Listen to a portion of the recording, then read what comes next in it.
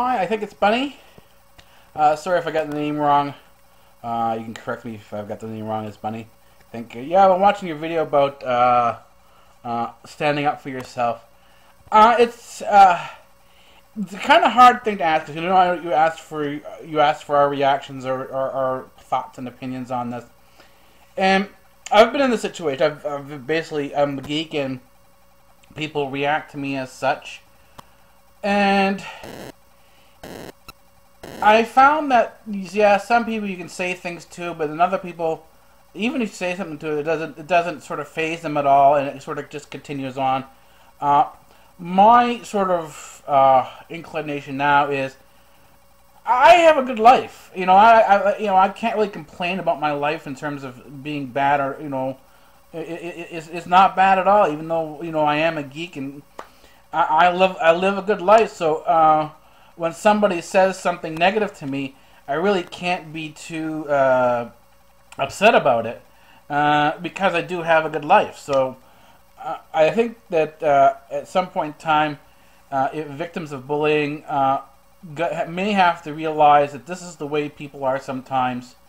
and I know this is, not, this is not an easy thing to do. This, it's going to be a process. But they do have to get to a point where when somebody says something to them, it doesn't bother them.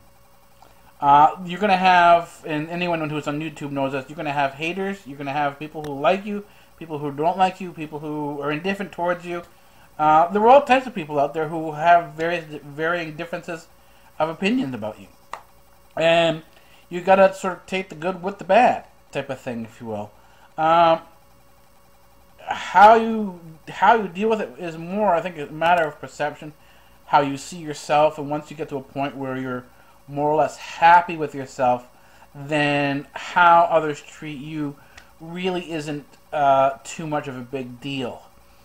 Uh, I don't know how uh, uh, uh if you agree or disagree with me on this. Um, you know, what do you think? And I, from my perspective, from my perspective, uh, people who are victims of bullying, and this is sort of sort of the message I've been sort of sending around, is that there's enough geeks and uh, nerds on uh, uh, YouTube, uh, people who've been bullied, that there's always someone to turn to on, on YouTube to sort of say, hey, I've been bullied, can you help me out? And in other words, I think if we make ourselves more available to those, the victims of bullying, those who are still going through the rough patches, that uh, we can sort of help them get through whatever they're feeling so they don't have to hurt themselves. They don't have to, you know, uh, uh, uh, put themselves in situations where it's not good for them. So, you know, let me know what you think if, if we should maybe, you know, start standing up and saying, hey, you know, over here, uh, if you're feeling bad about yourself, if you're feeling uh, like you're, you're a victim of bull, you're a victim of bullying or cyberbullying, cyberbullying, uh, come talk to me, come talk to us, you know, sort of a, a way to sort of stand up and say, hey, you're not alone. Uh, let me know what you think. All right. Bye bye.